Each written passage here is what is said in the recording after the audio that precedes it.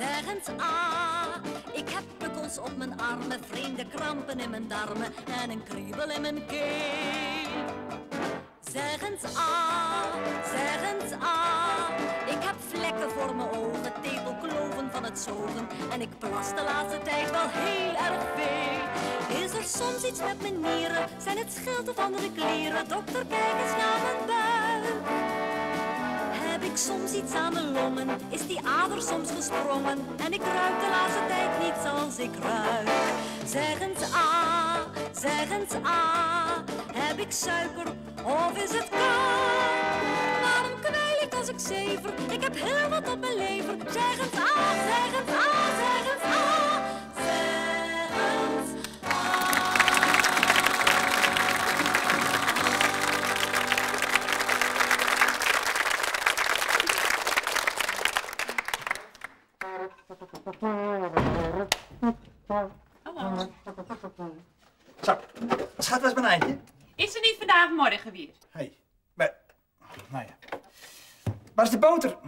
ik moet weg. Geen boter vandaag. Morgen. Wat, We doen een bruinbrood-dieet. wat doen we? Een bruinbrood-dieet. Om de andere dag. De ene dag helemaal niks, maar dan ook niks anders dan eh bruin brood met water of thee of koffie zonder niks. En eh, dan de andere dag dan mag je weer alles eten, zoveel als je wil. Hoera. Het helpt fantastisch. Ja, het helpt fantastisch om, een- om een rotimeur te krijgen. Ik praktiseer er niet over. Wat is dat nou eens voor onzin? Wat heb je daarvoor nodig? Om af te vallen. Af te vallen jij? Mens, je bent fel op het been. Nou, dankjewel, maar ik kon de knoopjes van mijn baljurk niet dicht krijgen van de week. En jij begint ook een pens te krijgen hoor. Dan moet je mee oppassen op jouw leeftijd. Een pens? Ik? Ah, nou ja, het valt wel mee hoor. Ah, doe het nou voor mij. Voor jou? Heb jij dan last van mijn pens die ik niet heb? Ik het niet. Als jij lekker zit te kanen met een eitje of, of, of een biefstukje... en ik moet alleen maar droog brood weg zien te wurmen, nou, dan, dan hou ik niet vol. Schat, ik heb alles voor je over. Maar ik moet werken. Ik heb goede voeding nodig. Ja, maar het is goede voeding. Iedereen doet het. En je hebt helemaal geen honger, want tussen de maaltijden door mag je zoveel eten als je wil. Ja, bruin brood. Ja, anders niks. Anders niks. Nee. Cole, doe het nou voor mij. Ik vind het helemaal niet erg als je even naar de hoek gaat om een kroket te halen. Maar als ik het maar niet zie, hè, en je moet me niet vertellen. Nou ja, als ik je ermee kan helpen. Nou, het is in ieder geval een goedkopere hobby dan ik van je gewend ben. Je bent een schat. Nou, ik zal je morgen de helft van het huishoudgeld geven. Wat? Als we om de dag bruin brood eten. Nee, helemaal niet, mannetje. Alles wat ik overspaar, dat leg ik weg en daar gaan we het leuks van doen. Ja, lekker eten in de stad. Hé, hey, wie kan dat nou zijn? Wat, wat, wat? De bel. Ik hoor niks. Oh nee, dat- dat komt misschien van het bruine brood. Dat heb ik wel eens gelezen, daar word je doof van. Net als met dat eh, te veel seks op jeugdige leeftijd. Word je ook doof van. Wat? Te veel seks op jeugdige leeftijd word je ook doof van. Oh. Ik ga wel even kijken. Wie kan dat nou wezen?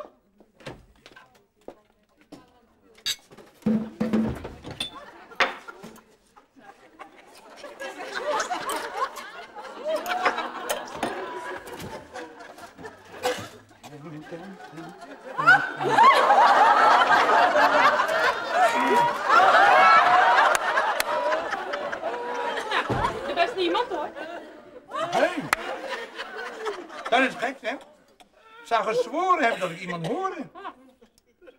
Nou, valt eigenlijk best mee, hè, de bruin brood die een. Ah, natuurlijk. Moet je nog thee? Nee.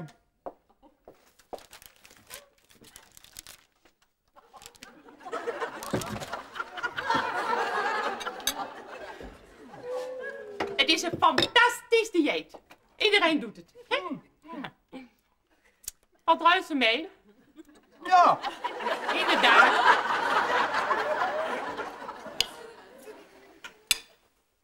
Niet doen. Ja, meneer. Niet doen. Ze zijn toch al zo gespannen. Jaag ze nou ook nog niet eens op. Om kwart over acht 's ochtends. Je hebt gelijk, je hebt ook gelijk. Verbaast me trouwens dat jij zo weinig gespannen bent. Ik? Hoezo? Of rook jij stiekem? Oh, bedoel je dat? Ja. Nee hoor. Eh, zeven dagen, zes uur en vijftien minuten geen sigaret aangerookt. Eh, geraakt. Geen moment aan gedacht zelfs. Nou, ik vind het ontzettend knap van je. Nee, echt, echt. De meeste mensen die ik het roken verbied, die slaan na één dag thuis de boel kort en klein. Als ik de verhalen geloven mag. Ik zal het je maar eerlijk toegeven. Ik heb me laten prikken. Je laten prikken? In mijn oor. Acupunctuur, of kon het toch, Hans? Ik ben helemaal niet gek. Werkt prima. Ach, Ja, je merkt het zelf. joh, autosuggestie. Kom nou toch, we zijn toch moderne mensen. Ja, ik wel. En als jij je medische vakliteratuur een beetje beter had bijgehouden, dan zou je weten dat hoe langer hoe meer moderne medici de acupunctuur als een hele reële methode beschouwen. Ik heb het door Freddy Kuik laten doen. Freddy Kuik, de longspecialist? Ja, die heeft zich erin gespecialiseerd nadat hij in China een longoperatie had bijgewoond onder verdoving van acupunctuur. En een hele bekende Chinese arts hier in Holland heeft in zijn proefschrift gezegd dat het verschil tussen hier en China is dat de Chinezen de medische wetenschap in het Westen niet als alternatief beschouwen. Hans, sorry, maar ik geloof er niet in. Nee, jij rookt niet omdat jij een sterke, zeer wilskrachtige kerel bent. En neem me in godsnaam die illusie niet af. Hallo! Hallo! Zijn we niet mooi op tijd? Precies kwart over acht. Nou ja, geweest. Ja, en met een humeurtje om te zoenen, hè? Ja, inderdaad. Koffie, Gert-Jan? Graag, pienenpoppenkindje. Ehm, jongens, ehm, is er iets? Eh, hoezo? Nou, de laatste tijd schuiven we alles aan het ontbijt waar eventueel mee te gooien valt uit jullie buurt. En, eh, Nou, dat is dan helemaal niet meer nodig, Hans. We zijn tenslotte volwassen mensen. En, ja, en jullie praten tegenwoordig met elkaar. maar dat hoef je niet zo spottend te zeggen. Een echt goed gesprek met elkaar doet wonderen. Echt. Ja, en dat zouden jullie ook eens moeten doen. Hans en ik? Nou joh, kom, doe me een lol. Daar heb ik absoluut geen tijd voor. Nou, dat is dan erg dom van je man. Nee hoor, Gert-Jan. Dat is helemaal niet dom van me. Hans en ik hebben het gewoon heel goed met elkaar. Als wij een keertje samen zijn, kunnen we onze tijd echt wel beter gebruiken. Wat helemaal niet zeggen wil dat wij onze tijd zwijgend doorbrengen. Ah, jullie willen me toch niet vertellen dat jullie geen fouten hebben waar je je soms groen en geel aan ergert? Nee. Oh. Nou kijk, ik geef het ruiterlijk toe. Ik kan soms knap hanig uit de hoek komen. En Pieneke wijst me daar dan op. En dan praten we er fijn over samen. En aan de andere kant kan Pien mij soms dolmaken met haar feministische gedram. Feministisch gedram? Ja. nou ja, ik bedoel, eh, ik kan wel eens een beetje doordraven. Oké, Pientje, oké. En ik geef ruiterlijk toe dat ik het misschien weer eens een beetje te hanig heb gezegd. Oké, ik geef het ruiterlijk toe. Tjonge, tjonge, wat een ruiterlijkheid. Zitten jullie op paardrijles tegenwoordig? Gert-Jan, Pien, doe me een groot plezier. Maak voortaan weer gewoon ruzie. Dit gedoe vind ik eng. Krijg ik koude rillingen van. Geef ik ruiterlijk toe. Wat jij nou eens ruiterlijk zou moeten toegeven, mama, dat is dat je niet helemaal met je tijd meegaat. Nee. Als jij jouw medische vakliteratuur eens een beetje beter zou hebben bijgehouden, had je al lang kunnen lezen dat tegenwoordig in de psychotherapie. Ah of- jongen, doe me nou toch een lol. Alsof er tegenwoordig geen huwelijken meer mogelijk zouden zijn zonder dat de psychiatrische Ja, nee, dat is, juist, dat is juist wat Gert-Jan daar zegt. Ja, volgens de laatste opvattingen zou er in ieder stadhuis naast de trouwkamer een psychiater klaar moeten zitten voor de eerste opvang. Hallo, Hans, hebben we toch wat alles in de Ja, ja, zijk hey, hallo, ah, eh, eh, mag ik misschien even? Ja, één moment. Hallo, dokter van de ploeg. Oh, mam. Hallo. Oh, heb je koorts? Oh. Nou goed, schat, ga maar lekker naar je bed. Dan kom ik er zo vlug mogelijk aan, hè? Nee, mam. Ik heb een sleutel. Tot zo.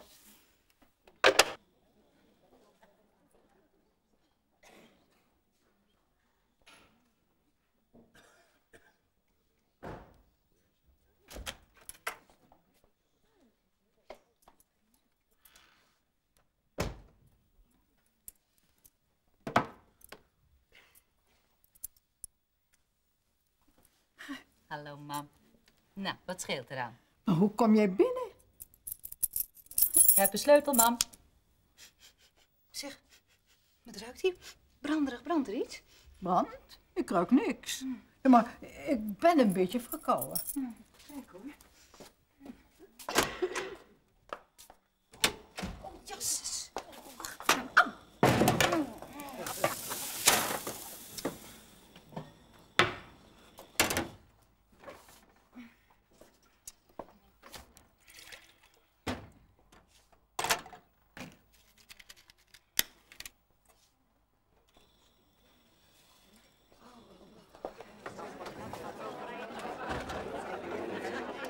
Je koffie wilt, kind, ik heb al gezet. En de melk staat op. Ja, die melk is droog gekookt, mam. Nou, dat is goed hoor. Dat ik net op tijd was. Je had wel brand kunnen krijgen. Maar je bent helemaal niet op tijd. Je bent te laat. Ik had de melk opgezet voor als je kwam. Maar dat duurde zo lang dat ik ondertussen ingedommeld ben, denk ik. Ik ben zo vlug mogelijk gekomen, mam.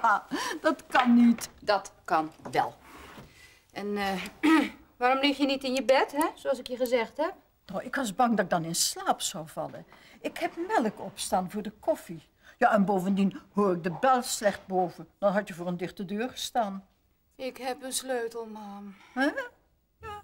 Och ja, nou ja, dat was ik even vergeten. Dat zeg ik toch net? Ja, daar hoef je niet zo bedenkelijk bij te kijken, hoor, lieverd. Jij vergeet ook wel eens wat. Ja, ik zal nog sterker zeggen, die verstoordheid heb je van mij. Nou zeg, kom. Zo erg is het ook weer niet, hoor. Nee, veel erger. Nou, kom, dan eens even luisteren. Hè? Zucht eens. Hm. Nog eens. Nou, even hier vanaf. Ja, zo erg is nou ook weer niet. Ik denk dat ik een griepje onder de leden heb gewoon. Hè. Maar ik dacht, dat is een goede reden om jou weer eens te zien. Maar weet je wat ik nou wel gek vind? Kijk eens. Ik heb allemaal rode vlekjes op mijn benen. Ja. Ja, misschien is het dan toch geen griepje, hè? Raar, hè? Mazeltjes en waterpokken heb ik al gehad. Ja, ja. Heel gek. Ja, maar wat is dat nou? Ja, weet ik niet. eh, nou ja, het zou netelroos kunnen zijn, maar ja, voel je je meestal zieker, hè? Nou, misschien komt dat nog. Ja. Jeukt het? Nou, en of hoor. Oh, nou, probeer dat maar niet te krabben, hè? Dan zal ik je wat geven tegen de jeuk. Hier. Ja, maar eh, wat is dat? Oh, dat is iets nieuws. is een artsenmonster. Smeer het er maar op. Ja, maar ze zeggen altijd dat je eerst de bijsluiter moet lezen voor je een geneesmiddel gebruikt. Ja, dat heb ik al voor je gedaan, mam. Smeer het er nou maar gewoon op en probeer hem maar niet te krabben. Oh, de vreemde tover een bijsluiter smeert maar gewoon op en probeer niet te krabben. Hm. Ruikt smerig. Beetje branderig. Een beetje brand. Een beetje brand. Oh, goede. Nee.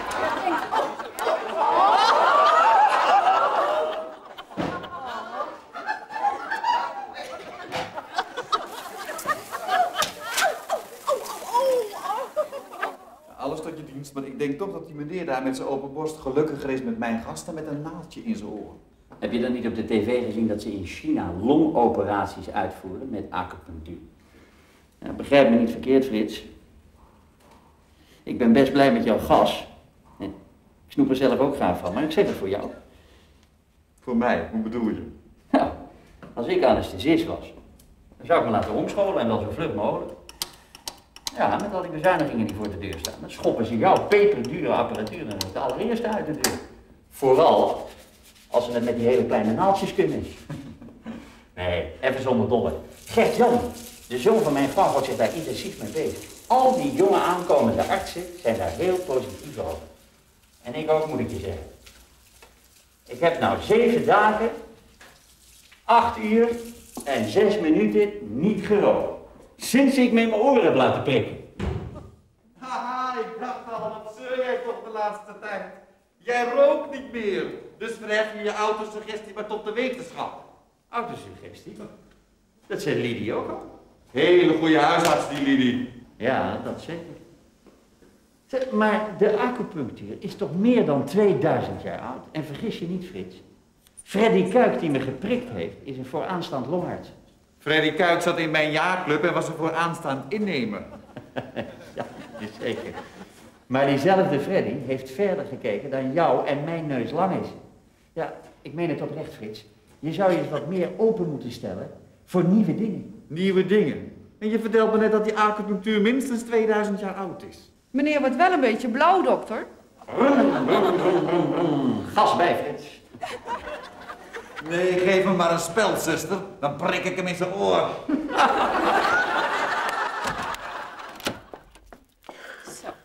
Ah, koffie. Heerlijk, mevrouw Ja, ik denk u heeft wel koffie gedronken bij de oude mevrouw, maar... eh, Nee, dat, eh, dat is er een beetje bij ingeschoten.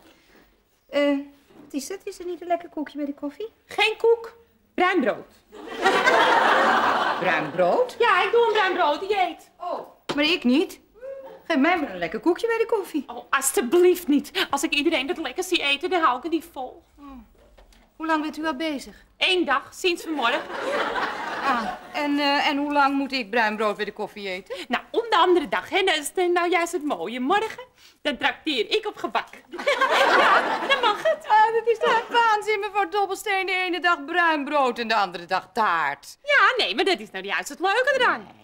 Luister nou eens eventjes. Luister nou eens eventjes naar uw eigen huisarts. Ten eerste bent u helemaal niet te dik. Nou. Nee, nee, luister nou. En ten tweede, als u echt af wil vallen, dan is het enige wat u moet doen driemaal per dag met mate eten en niks ertussendoor. Meent u dit nou? Ja, echt heus. Driemaal per dag met mate, niks ertussendoor. Zelfs geen bruine boterham bij de koffie.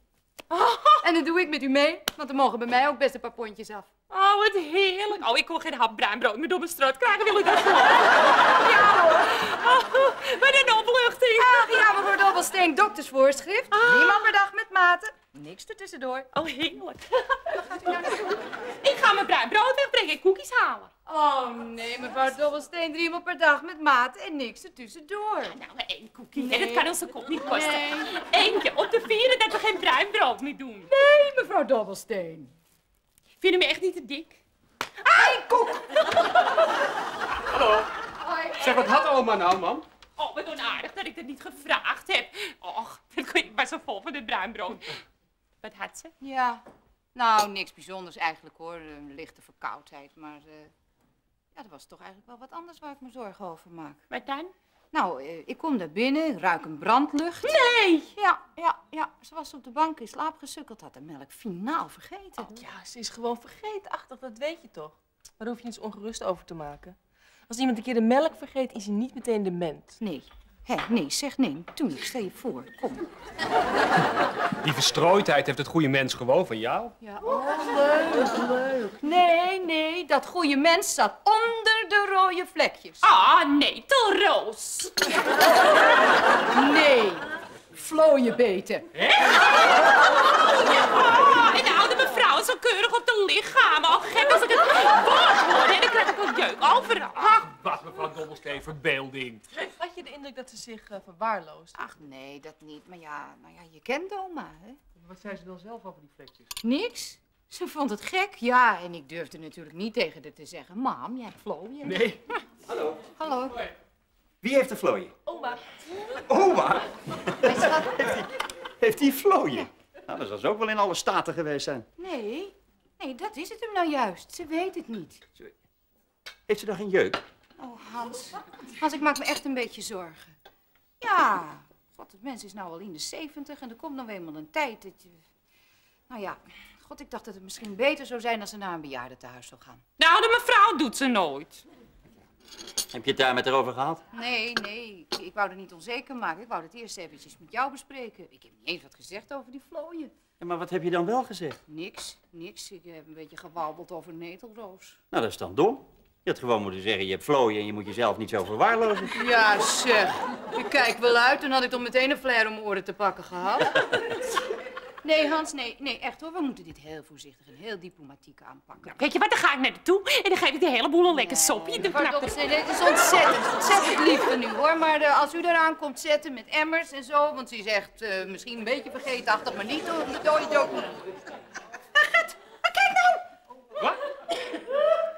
Jij hebt ze ook.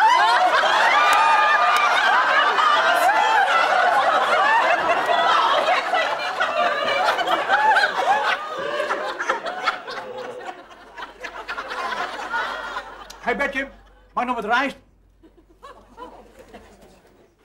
Een extra rijst omdat het zo lekker weg had. Heel lekker.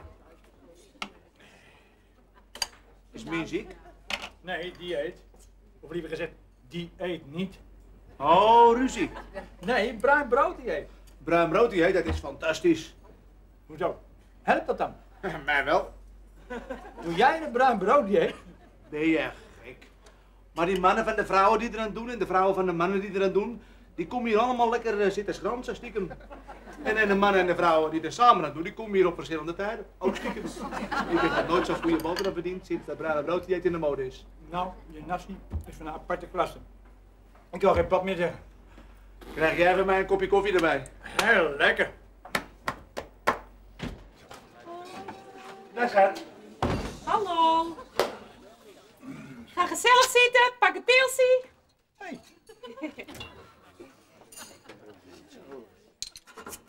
Het eten staat zo op tafel. Eten? We doen geen bruin brood meer. Allemaal onzin, zegt de dokter. Dus, kijk eens wat ik hier voor je heb.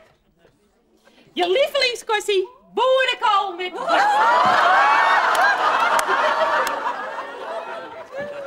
Eh, schat, zouden we dat nou wel doen? Ik bedoel, eh, we waren net zo lekker begonnen. Je had gelijk hoor, dat de bruin brood die eet is geweldig. Ik heb geen, he- helemaal geen honger geleden. Allemaal onzin, zegt de dokter. Drie maal per dag eten met Maarten. En niks ertussendoor. Maak even een kuiltje, krijg je jus. Schat, als je eens wist hoe ver ik van je hou. Ja, ja. Laat maar zitten. Nou, eet hem maar lekker op, hè? Heb ik mijn best gedaan of niet? Nou, nou. Maar ik wil morgen geen klachten horen over een dikke pens, hè? Drie maal per dag eten met Maarten, niks ertussendoor, krijg jij geen pens. Lekker.